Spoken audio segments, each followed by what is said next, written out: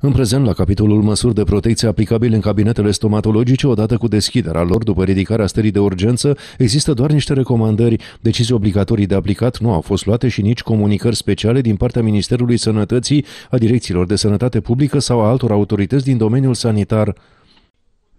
Pregătim la nivel de colegiu perioada aceasta de după 15 mai privind chiar lărgirea ariei intervențiilor stomatologice și realizarea unui pachet de măsuri referitoare la recomandările pe care trebuie să le facem la triajul epidemiologic al pacienților și, bineînțeles, la protecția acestora și a personalului medical în contextul infecției cu COVID-19. Măsurile privesc echiparea, dotarea, dar și manoperele care pot fi realizate, a precizat Norina Forna, președinte al Colegiului Medicilor Stomatologi.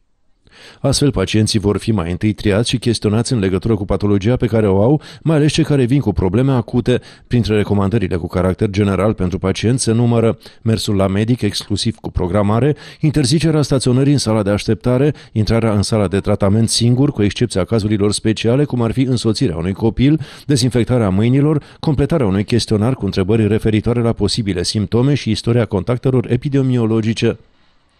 Pentru medicul stomatolog, riscurile sunt mari. Fiecare pacient poate fi purtător de virus. Medicul va trebui să aibă un echipament protector, viziera, ochelarii, capelina, botoșei, combinezonul fiind obligatorii, mai ales în cazul în care pacientul este COVID pozitiv.